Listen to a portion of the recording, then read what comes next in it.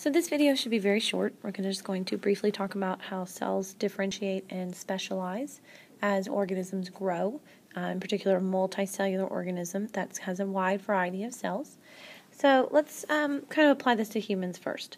So humans are, they start with one fertilized egg, right? It's called a zygote. So we come from one little cell. And that one cell is going to divide and divide and divide, okay? And that's what's going to help us to grow. So when we're born, we have lots and lots of cells, okay? And those cells are genetically identical, however, they have also specialized. So these cells, again, we started with our, my, our zygote here, our one cell, went through lots and lots of mitosis to give us growth right? Because remember, mitosis gives us genetically identical cells. But as the organism is growing, okay, those cells will start to specialize. And that's how you'll end up with hair cells and liver cells and blood cells and bone cells.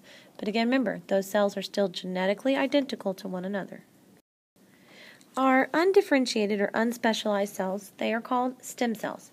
So stem cells really have the ability to kind of turn into any kind of cell they want to turn into. Um, for example, what we have here, we have these pluripotent cells. So they could turn into heart cells, nervous cells, immune system cells. So the differentiation or the specialization of those cells is going to be due to the regulation of the gene expression. Remember, all of the cells in our body have the same DNA. They all have the exact same DNA. Okay? But when we regulate which genes are turned on, which are turned off, which ones are expressed, that allows for that differentiation and specialization. So we can get things like heart cells, nervous system, immune system. Okay? And so those stem cells are those initial um, undifferentiated, unspecialized cells. If y'all remember from protein synthesis, we talked a little bit about this. Gene expression is going to be regulated by RNA splicing. Okay, so this should be kind of familiar. This is our RNA splicing up here. Okay, so there's my RNA splicing.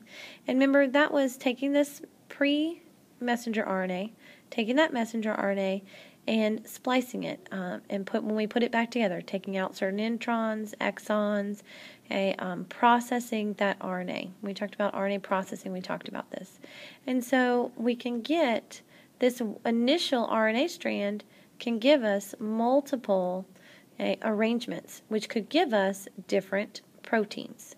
Okay, remember it's all about proteins, right? So that's one way that gene expression can be regulated is how the RNA is spliced. Okay, um, environmental cues over here can tell us uh, how the gene should be, what gene should be expressed, which should be turned on, what should be turned off, as well as cellular communication can tell us that.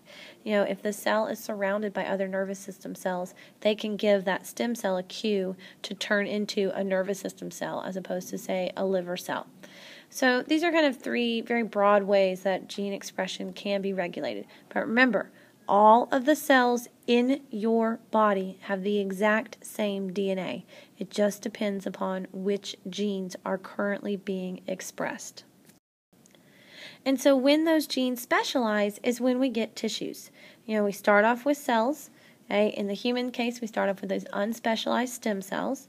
As they specialize and we get our groups of specialized cells, then we get a tissue, an organ, um, remember, your organ is your groups of tissues, your organ system is your groups of organs, and your organism being your groups of organis- organ systems. Okay, what we have here are some microscope slides of up here. We've got various types of muscle tissue. Okay, so these cells have these have been they were originally stem cells, and they have specialized into muscle cells that have the ability to contract. Okay, here we've got uh, various two different rows here of various types of connective tissue. So we've got bone tissue, blood cells.